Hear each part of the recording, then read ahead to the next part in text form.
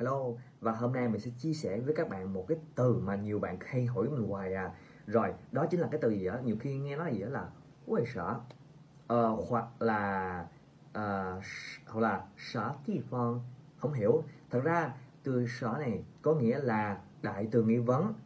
giống y chang như từ mà gì cái gì đó chỉ khác có một cái là nó một từ âm tiết thôi. Thì từ mà hai âm tiết thì khác nhau cho như vậy thôi còn nghĩa hoàn toàn giống nhau hết à, thì cách nói tắt và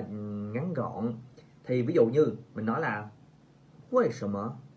đúng không thì chúng ta nói là quê sở đều được nha các bạn nhé hoặc là ờ uh, 是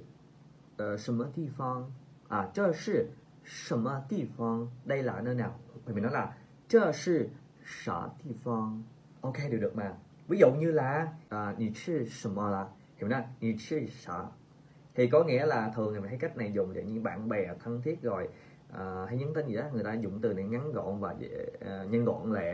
Ha các bạn ha? Rồi à, có một số vùng miền thì họ đọc thành chữ là xá không có công lưỡi. Rồi có một số gọi là phân diễn có nghe từ địa phương họ đọc thành thành bốn đó là sa. Nhưng chính xác vẫn là sở ok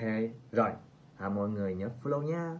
các bạn nhớ đăng ký theo dõi kênh tiktok của mình nha, để theo dõi nhiều clip hay và mới lạ hơn.